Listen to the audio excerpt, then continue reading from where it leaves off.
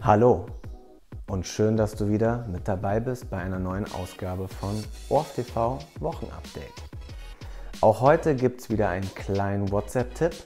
Letzte Woche hatten wir das Thema Fotos versenden, ohne in WhatsApp reinzugehen für alle iOS-Nutzer.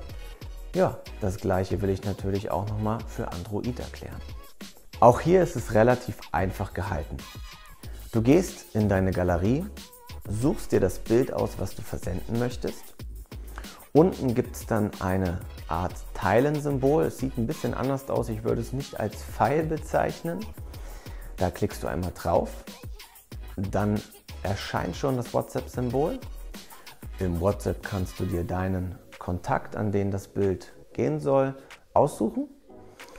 Und Nachdem du dann dem Ganzen eine Bild-Über- oder Unterschrift gegeben hast, kannst du es auf die Reise schicken.